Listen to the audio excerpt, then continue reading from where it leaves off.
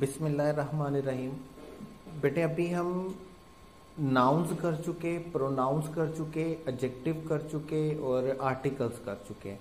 उसके बाद हम अपना fifth part of speech start कर रहे हैं डैट इज़ वर्ब्स और मैंने आपको पहले भी बताया था कि ये जिस अरेंजमेंट से हम चल रहे हैं, ये तो पार्ट्स ऑफ़ स्पीच की अरेंजमेंट है। मतलब नंबर वन पे जो पार्ट ऑफ़ स्पीच है, वो नाउन है नंबर टू पे प्रोनाउन है नंबर थ्री पे एडजेक्टिव है उसके बाद सोन ही आगे चलता है। जिस पेपर पॉइंट ऑफ़ व्यू से जिस अरेंजमेंट के हिसाब से हम चलते हैं कि मोस्ट इंपॉर्टेंट कौन सा है तो उस उस लिहाज से सबसे पहले नंबर वन पे जो पार्ट ऑफ़ स्पीच हमारे पास आता है वो कौन सा है? Preposition paper point of view से बात कर रहा हूँ। पेपर पॉइंट ऑफ़ व्यू से कैसे बात कर रहा हूँ? अगर हम पास पेपर का एनालिसिस करते हैं कि पास पेपर में ये जो क्वेश्चंस आए हैं, उनमें सबसे ज़्यादा क्वेश्चन जो आए हैं वो किसके आए हैं? प्रेपोजिशन के आए हैं। और नंबर टू पे सबसे ज़्यादा क्वेश्चन जिसके आए हैं, वो किसके आए हैं? वर्ब्स के आए हैं। ठीक है? अब हम अपना सेकंड मोस्ट इंपॉर्टेंट जो पार्ट ऑफ़ स्पीच है, वो स्टार्ट करें। तो वर्ब्स पे आपने कुछ ज़्यादा एक्स्ट्रा कंसंट्रेशन के साथ काम करना है। बड़े अच्छे तरीके से इसके नोट्स आपने बनाने हैं। हर लेक्चर को, हर वर्कशीट को, हर क्वेश्चन को बड़े अच्छे तरीके से आपने समझना है। देखिए दो तरह का वर्ब होता है, याद रखिएगा। बल्कि तीन तरह का वर्ब होता है। तीन तरह का वर्ब कैसे होता है? एक वर्ब वो है जो आप लोग जो है यू एच एस के सिलेबस में देखते हैं। कि यू एच एस के सिलेबस में हमें इस साल भी जो बताया गया 2019 में, अभी जो पिछला बैच गुजरा उसमें कि आपको टेंसेस करने हैं डायरेक्ट इनडायरेक्ट करने हैं एक्टिवाइज पैसिवाइज करने हैं और इसमें से आपको पेपर दिए जाएँगे। बड़ा क्लियर यूएचएस ने इसको मेंशन किया था। एक तो वर्ब वो है जो आपको यूएचएस के सिलेबस में से मिलता है कि जी वर्ब में से ये ये चीज़ें आनी है डन हो गया।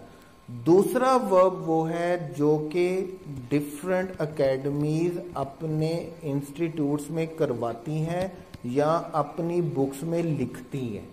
ये दूसरा एडवर्ब है। दोनों में क्या डिफरेंस है? दोनों में हेल्थ डिफरेंस है। हेल्थ डिफरेंस कैसे है? पेप जो यूएचएस बताता है, इंतहाई आसान सा सिलेबस यूएचएस हर दफ़ा बताता है। इस दफ़ा तो उसने बड़ा क्लियर बताया। पहले तो ये नहीं बताता था, इस दफ़ा तो बड़ा क्लियर बताया कि वर्ब में से ये ये चीज़ें आएँगी। ठीक है? और तीसरा वो है, जो एक्चुअल में एमडी कैट में आता है। ठीक है? जो एक्चुअल में एमडी कैट के पेपर में वर्ब्स आ, आते हैं जो वर्ब से रिलेटेड क्वेश्चन आते हैं अगर आप किसी भी एकेडमी किसी भी टीचर के नोट्स उठा के देखेंगे तो आपको वर्ब जो है वो एक फिलॉसफी से कम नहीं लगेगा। आपको वर्ब जो है वो ऐसे ही लगेगा जैसे आप फिजिक्स में ब्लैक होल पे जाके सर्च रिसर्च कर रहे हो और वर्ब्स इतना मुश्किल है कि हो ही नहीं सकता पॉसिबल ही नहीं है ये रूल है वो रूल है ये बात है वो बात है ये बात है वो बात है। चीज़ों को बढ़ा चढ़ाकर पेश किया जाता है। मैं शुरू से आपको एक बात बता रहा हूँ। एंट्री टेस्ट टीचिंग में टीचर के पास दो ऑप्शन होती हैं।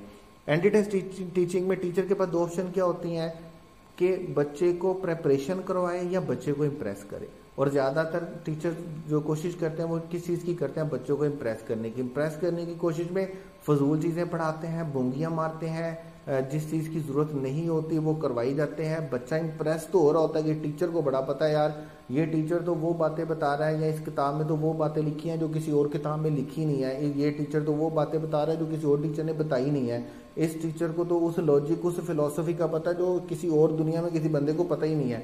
तो अभी क्या होता है, असल में आप इम्प्रेस हो रहे होते हैं प्रेपरेशन नहीं कर रहे होते। खास तौर पे जो मेरे रिपीटर्स और इम्प्रूवर्स बेटियाँ बेटे हैं और जो डिफरेंट इदारों से इंस्टीट्यूट से पढ़े हैं वो इस बात से बड़े अच्छे से वाकिफ होंगे।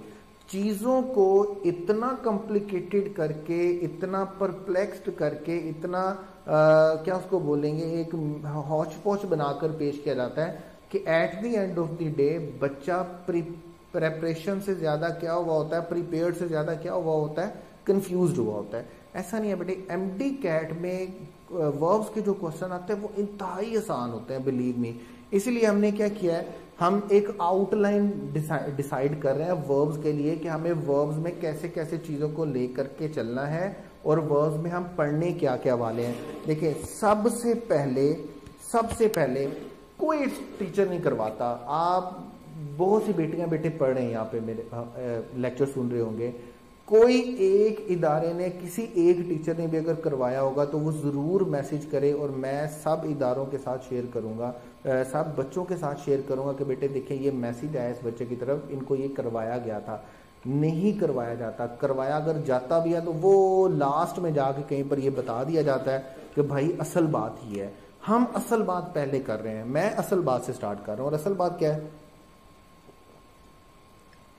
और असल बात क्या है?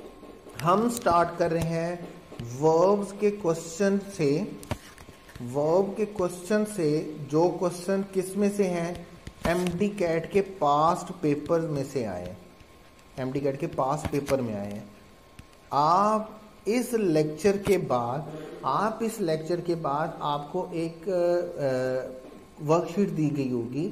Verbs past past paper question verbs MD CAT आपने वो अटैम्प्ट करने हैं। फोर्टी क्वेश्चन हैं जो जो कैट के पास पेपर्स में आ चुके हैं।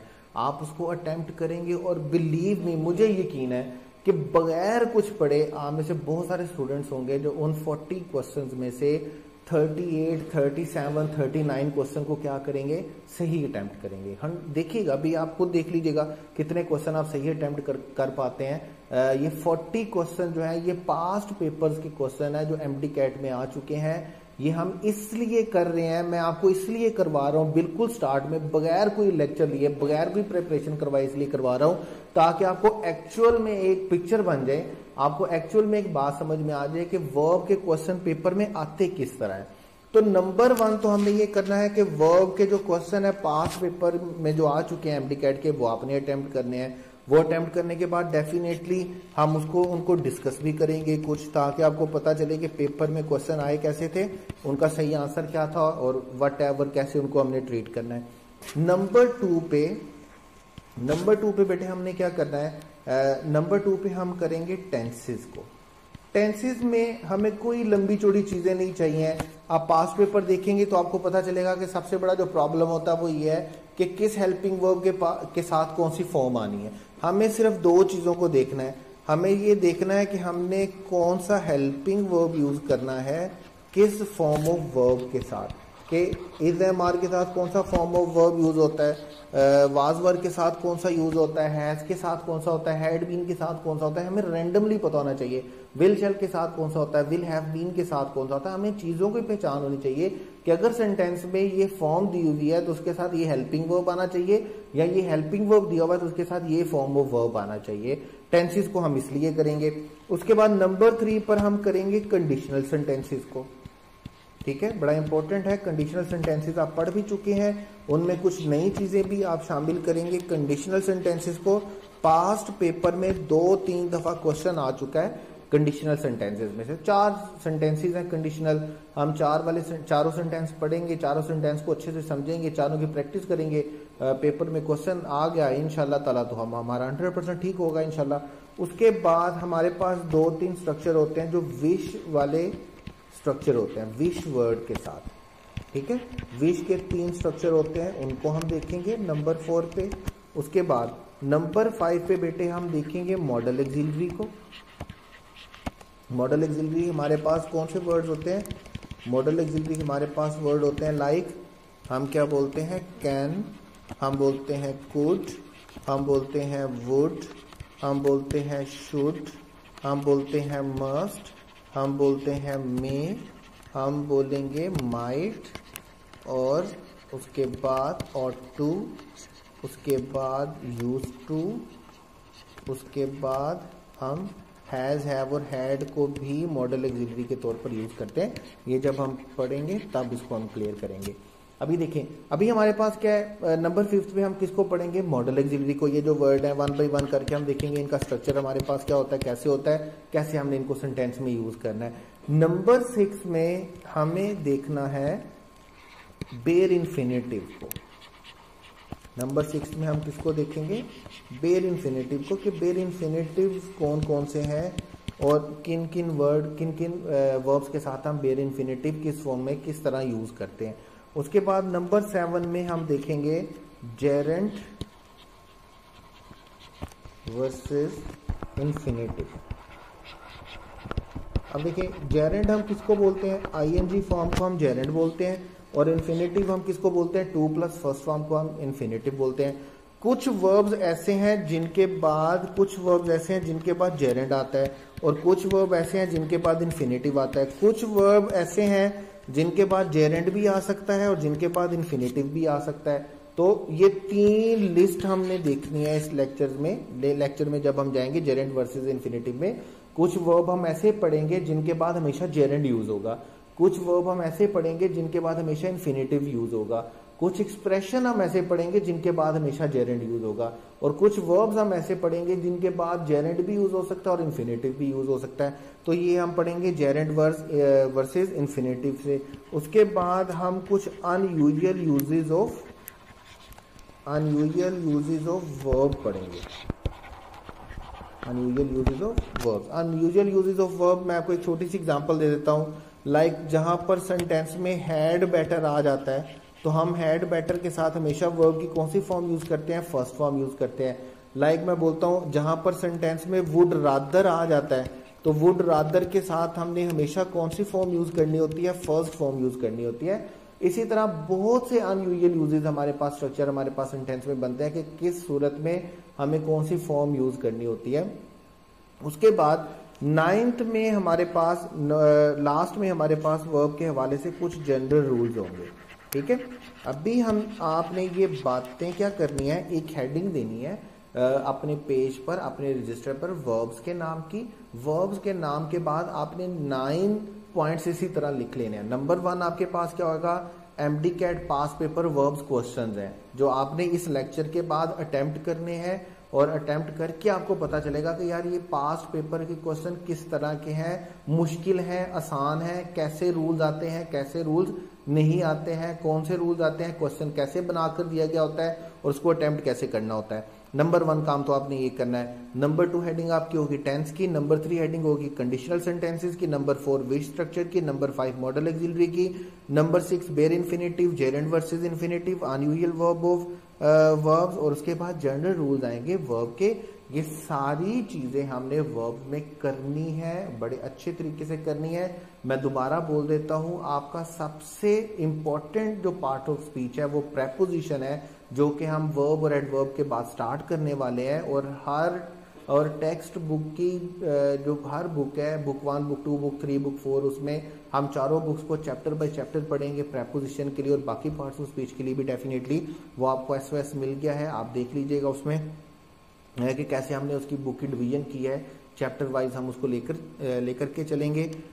आपने अपने माइंड में वर्ब का एक स्केच बना लेना है एक मैप बना लेना है कि हमने वर्ब को कैसे लेकर चलना है, इसी तरह हम लेक्चर वाइज इसको लेकर आगे चलते रहेंगे। आज के लिए आपके पास टास्क कितना है कि आपने वर्ब की जो वर्कशीट आपको दी हुई है, ये पास्ट पेपर के क्वेश्चंस हैं एमडी कैट के। आपने इनको सोल्व करना है, अपना रिज़ल्ट मुझे सेंड करना है, और फिर हम इसकी, इसको डिस्कस करेंगे नेक्स्ट लेक्चर में कि कौन से क्वेश्चन कैसे था, उसमें क्या एरर था और क्या एरर नहीं था।